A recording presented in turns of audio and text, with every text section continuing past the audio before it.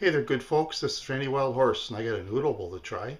Sandy Chun's Simple Gourmet Asian Cuisine Chinese Style Kung Pao Noodle Bowl with cooked Hokkien noodles, hot and tangy sauce with bok choy, carrots, and peanuts. It's low saturated fat, 8 grams of total fat per serving, 0 grams of cholesterol per serving, and it's ready in 2 minutes. Also, it's non GMO Project verified and vegan too.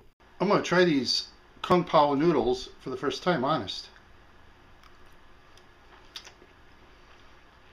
Mmm. Delicious. It's the truth, too. Try Annie Chun's Chinese style Kung Pao noodle bowl.